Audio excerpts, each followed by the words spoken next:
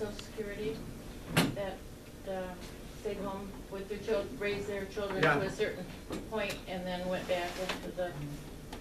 I like that, I support that.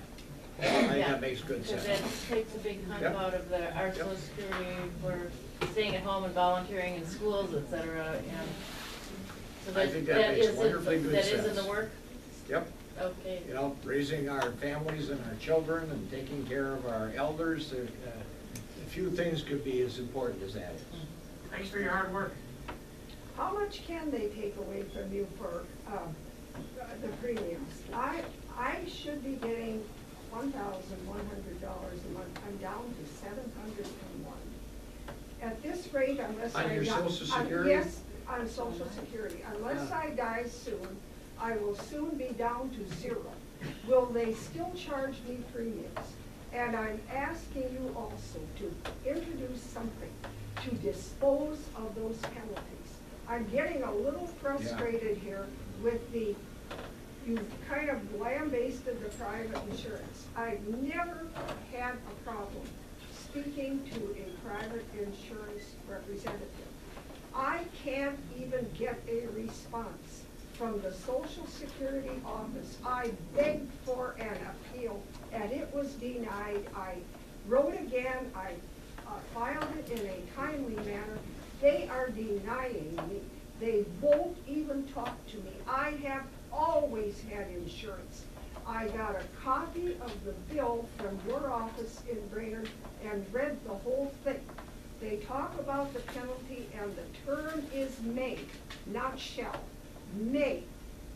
I believe it is being misused in a, in an effort to beef up certain other uh, funds in the, in the system. It is wrong. I have always had insurance and they are taking it out.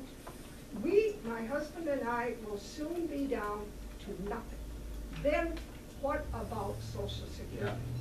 No, I want an answer. Yeah, well, um, in your I title. want you to help me Yep. get a hearing with social security. They should not Yeah. have the power Yep. to deny me. They work for me, not the other way around. Well, and my staff told me uh, about your concern, and I, I- I've asked them to get me all the details on it, and I'll work with you, Mary. Please? I will, absolutely, because it's a real legitimate concern. And, and having said that, um, let me tell you, I, I gotta remind everybody here that Social Security is administered by people, okay? Um, And we find that they often make mistakes.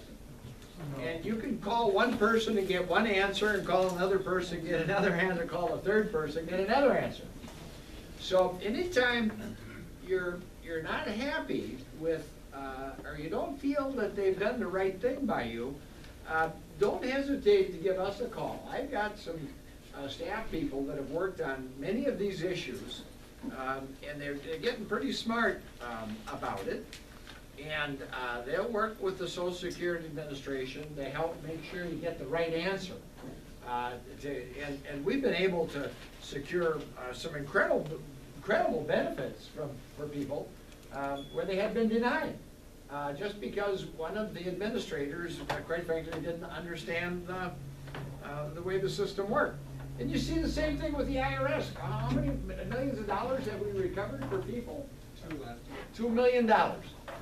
They, they, they- you know, every year, uh, H and R Block does this little study, they send out uh, the exact same facts for a taxpayer to 118 different tax preparers, and they come back with, you know, 118 different tax returns uh, that vary anywhere from uh, 10 to 60, 70,000 dollars in tax liability.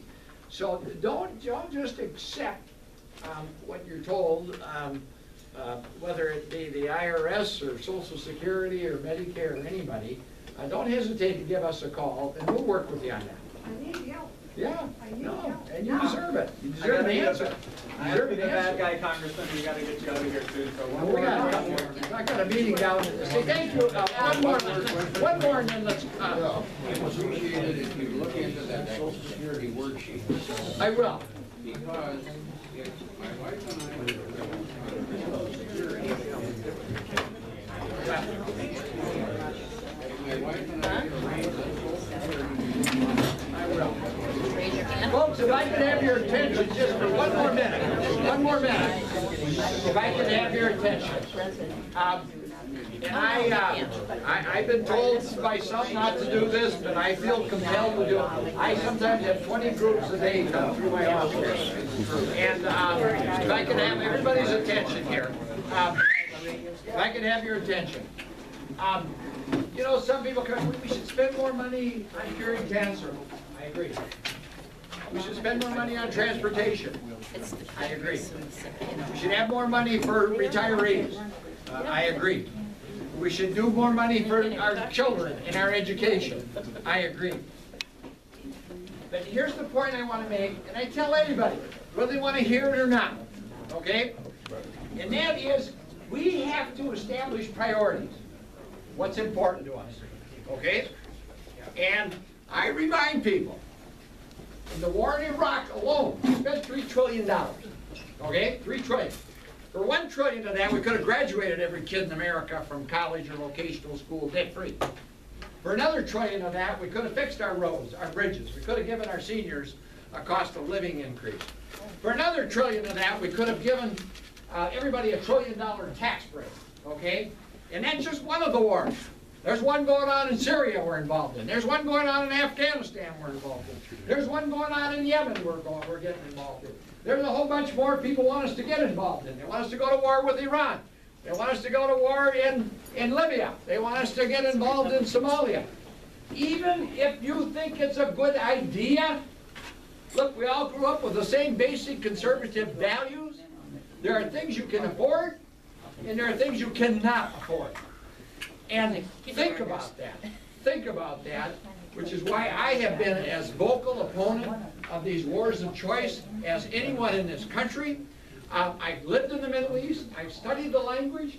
We have no friends in that conflict. We've been on every side of that conflict. And guess what? On just Iraq alone, we still got another two trillion dollar obligation, and we are obligated to it.